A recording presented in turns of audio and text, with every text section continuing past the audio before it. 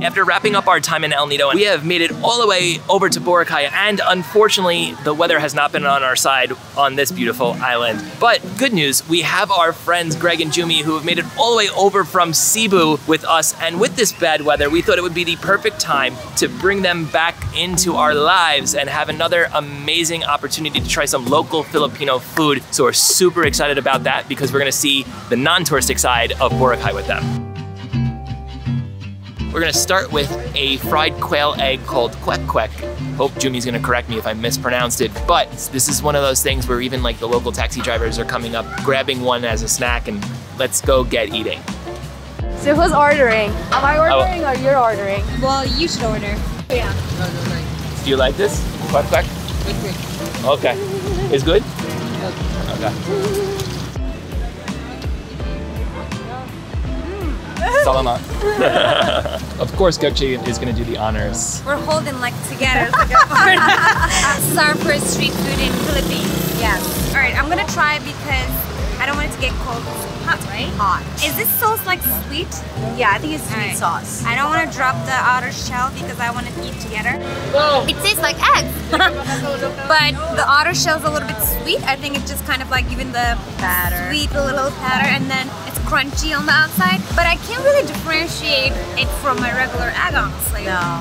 No. No. Traditionally, it's like smaller than this. As a kid, this is like our traditional, really childhood street food snack. So you can really see it, especially in the city. They can see it everywhere. This is a little bigger, but still quite quick. Quack quick. Go ahead, Steve. Am I getting the bigger piece? What? It's up to you. Thank you for holding it, by the way. No problem. Ah.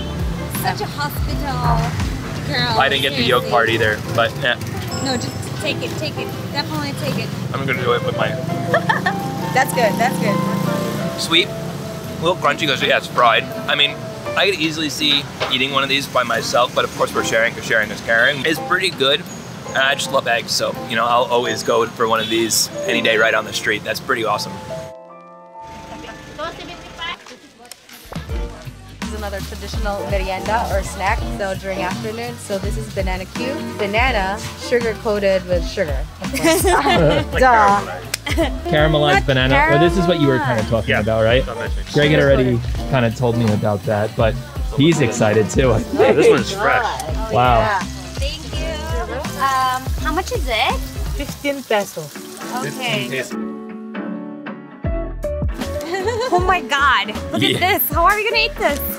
There's two sticks in here to support both of the bananas that have been deep fried, basically. Mm. Holy cow! And it smells so good. I'm gonna oh eat my the small gosh! one. You can have the big one. Would you like to go first then? Yeah, I'll go first. It's a lot of calories today. I'm not going to be happy but I'm happy now.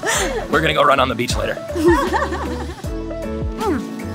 Look at the steam coming out of that. Oh, wow. Holy cow! So good. I love bananas. Oh guys, hot. Be careful. All right, I'm not gonna lie. I go for this sooner than the quail egg, and we get like ridiculously chunky off of eating this all day, every day. What an amazing snack! Wow. Yeah, it's not the regular banana that you just eat. There's so many types of bananas. Yes. But the one that people actually consume on a daily basis is actually one of them. Yeah. It's the most frequently consumed one because it's the one that everybody likes the Yeah. most. But this is a Different one. another, I guess, banana from the banana family. yeah.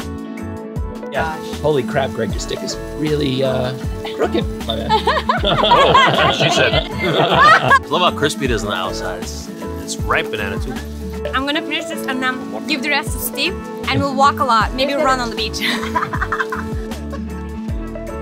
Jumi was like, you have to try it. Just showing them my classic local favorite merienda. Very nice meeting you. Bye. Traffic in this island. Wow. We're trying to move. Let's go. I love how this walkway is covered with sand. It feels like you're completely walking on the sandy beach, but you're actually on the walkway, sideway, whatever way it is. So, Biko, this is sticky rice. Sticky rice. This is sticky rice flour. Ube, remember ube? We had to have the Oh, the yeah. purple That's the, one. the And this one is um buchi. We put the sesame seeds. Why don't we get one of each and four of us will share? Yeah. Isa, Isa, Isa. Salamat. Good job, good job, Thank good you, job. thank you, learning. Finally, we can see some sunlight today after the pouring rain earlier. And now we're gonna try this delicious snack that Jumi picked for us. So this is the sticky rice, and what is this made of? Uh, rice. Rice, of course, and probably the brown sugar. And it's served on a banana leaf. Yeah. Really authentic. I don't know it. how to properly eat this, so I'm just gonna Bite it, bite it. Oh, Like, bite? Yeah, bite. Okay. Like, don't, of course, not bite the banana. I'll just take a piece maybe. Yeah, that's fine. because I want to share with you guys. Pretty good. It's not too sweet to the point that it overwhelms you, but it's sweet enough that it could be consumed like a dessert. Feeding my man with my own hands. If we had to rank the snacks that we've had so far today, this would right now be in last place. It's very plain. The banana and even the quail egg were really delicious, and this is just not my jam. I'm just going to feed me. I see, I see what you mean in there. It's not in my expectation. It's supposed to be a little sweet, but this one's not that sweet. This one's a little bit bland. Buchi. Buchi. Buchi. Feel I like the sesame seed smell. It reminds me of simit, and I love simit. And if you don't know what simit is, well, you should watch our Turkish street food video. Mm. Oh, ooh, interesting. what's in there? I have no idea. You don't laugh. I was about to ask you. I don't know. The buchi that I'm so used to is is straight like this, filled with white thing. I'll feed Steve and see. I, li- I like it though. Wow, it's a lot sweeter than I thought it was gonna be. I don't think it's egg. Let's see. Greg knows the deal. Let's see what he's gonna say. I'm gonna feed Greg now too. It might be sweet and salted egg. I don't know. It has that kind of flavor. I just like But I'm not sure. smell. I like yeah, the sesame is really nice I and chewy like the texture. smell of the sesame seed. I just love, love, love sesame. The chewy texture is really nice though. I know, right? Really interesting. By the way, this is Travel Interesante slash Gökçe feeds everyone. And uh, we're just gonna continue like this, I guess, for the rest of today. Oh man, look at this. This is like a. It looks so beautiful to the point that I don't even want to eat it. This? Sapin sapin. Isa, Isa, Isa. Sapin, sapin, salamat. Okay, now. Gökçe's practicing to stay, I think. Okay. It's very sticky, It looks like a jelly. like That's- glutinous rice. Straight purple. There's literally no smell. Okay. Which I wonder is how you- interesting. What should be my expectations? Sweet, It's salty, s- middle ground. middle ground. Okay. Should I bite into it? Should I? it's It's a lot of emotions on your face. it's stickier than the sticky rice, and once you start chewing, it's hard to move your teeth. That's like how sticky it is actually. But I really like it. All right, I'm gonna let Greg try this time. If there's any Malaysian viewers here, this reminds me right away of kueh. It's just like the sticky rice, probably coconut milk. Let's see.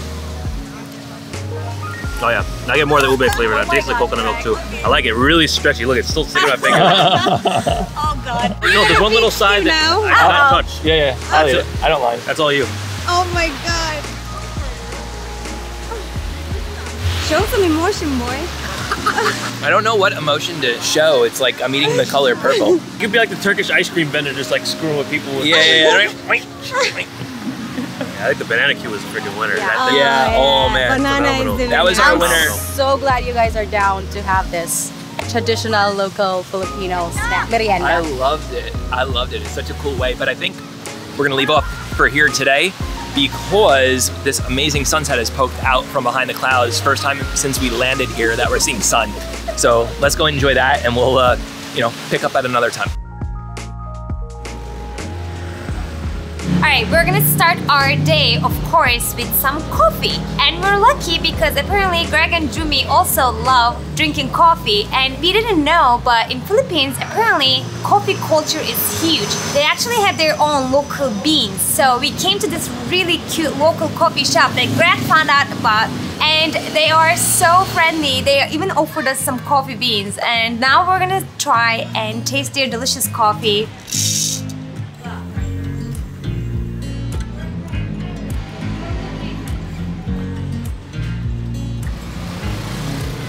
I got ice latte, right? Yes, you. Do. Okay, all right.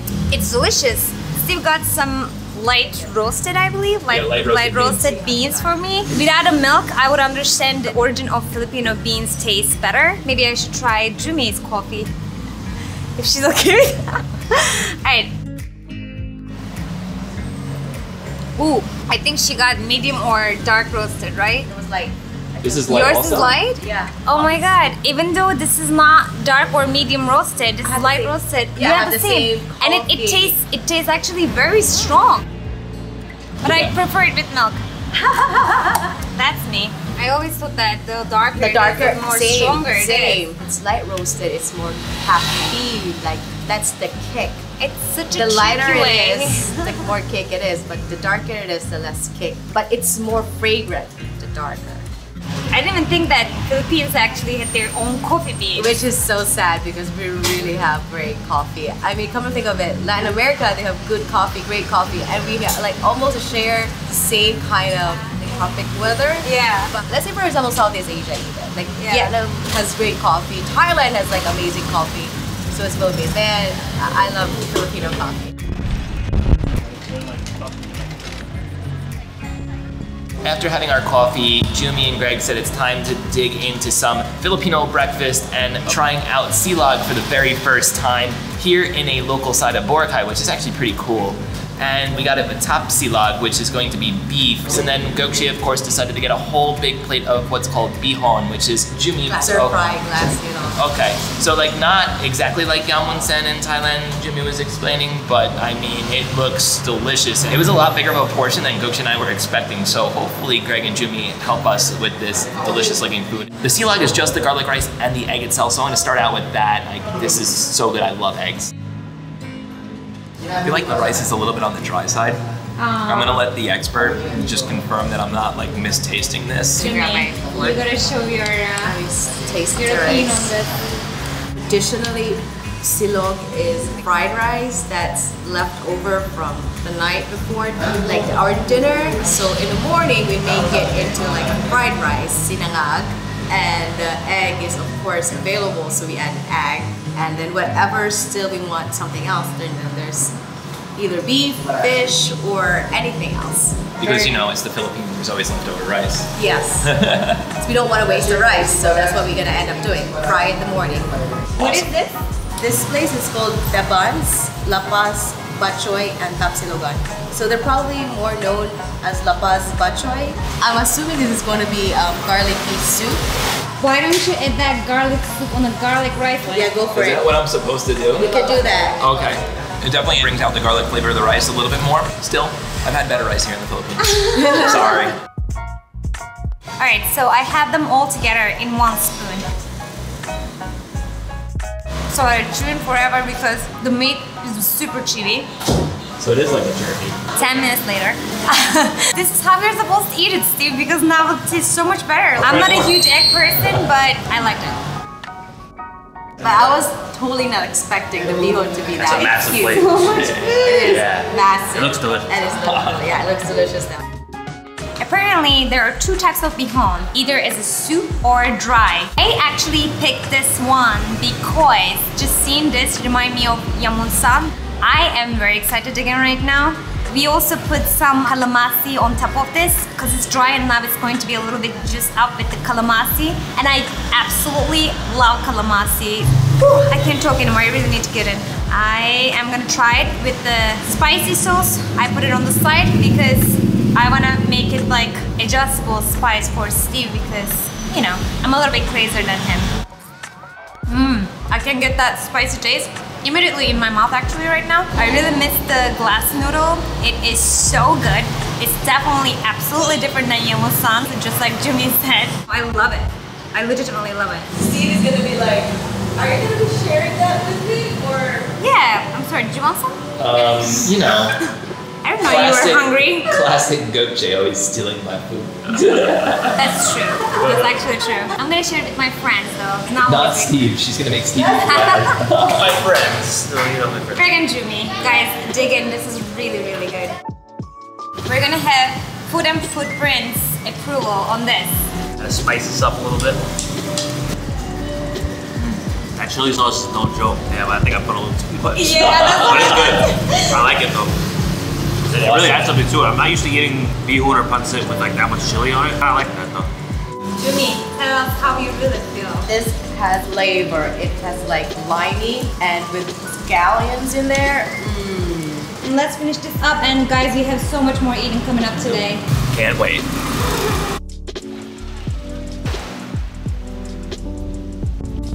So this is balut, Steve. Duck embryo, so it's 17 days, meaning it's not fully grown into duckling, but there's a little bit probably of duckling in there. But it's a classic and iconic nighttime snack. I'm really a little bit worried right now. Jumi has picked out ours though, and it's like a like. Am I supposed to just break it open and just? Marked where should we open it because it has to be where the most embryonic fluid. So I'm just gonna like Yeah, suck it out for lack of a better way to say it. Sip it, sip it. Oh, it's like warm. Mm. A little salty.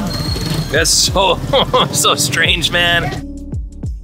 This is such an odd thing to eat for me. There's no food in uh, the US obviously like this at all. The juice is tasty, but it's such a oh my god, The entire thing now.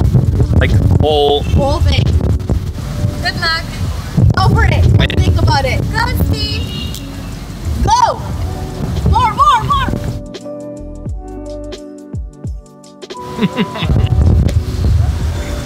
That's really good, but it's so freaking weird, man. It really is. All right, so this is definitely our choice and not Greg and Jumi's choice, but we had to do it while we were here in the Philippines, and it seems like everybody is here right now. This is, of course, the Filipino famous Jollibee, and we cannot wait to, of course, check it out for the first time ever. This is, of course, the most local of Filipino foods, but when in the Philippines, you try Jollibee. Oh wow, it's really happening, huh? Okay. I've never seen Jumi this excited. Greg, we're gonna what share a bucket of chicken Yeah, and get chicken's some, a must. Any other like must that we have to have here? I think you gotta try spaghetti, uh, especially you as an Italian. Uh, it's kind of crazy, not spaghetti you're used to, but you gotta try it because it's unique. Okay. Peach mango pie a must. Jollibee is taking over the freaking world. Thank you. Yeah, we got more coming. Jollibee. Chicken, chickpeas. Oh my god. Is it good? Good drunk food. Oh, it is so juicy. Yeah. Hmm. Wow. I'm so impressed, Steve. I'm so sorry you're not eating right now. Mmm. Got freaking crunch. Move over, KFC. Jollibee's coming for you. It's a family pan of pasta. Like a lot of sauce and cheese on Because top. Jumi loves it. And there's hot dogs in it. There's hot dogs in the pot. Oh my god. It's like a New York street vendor got drunk and just decided to make his own like concoction. Yeah, New York Italian, let's see. Holy. Sorry. Sorry, Mr. Italian. Sorry to your nana. You like it. It's like so wrong and so right at the same time. Let me taste it one more time with a hot dog. I gotta, that is just such an absurd thing. Pasta and a hot dog? The sauce is sweet. Half of me just like loves it, and half of me is just like, what the hell am I eating? I feel like it broke my tongue. Yeah, that's actually a really good way to describe it. Like, I, I, I honestly have no idea. It tastes good. But last but not least, Gökçe's gonna try the peach mango pie, which is also super famous here. It's very sweet. It doesn't make me feel as good as pasta does, so I'm just gonna go back to that. So we weren't sure really what to expect when we were coming here, and it's definitely surprised us a little bit for sure. Good does it smell in here? Amazing. Wow. It's really, really like, I wanna eat everything. and we are back to Europe. Well, it feels like it anyways.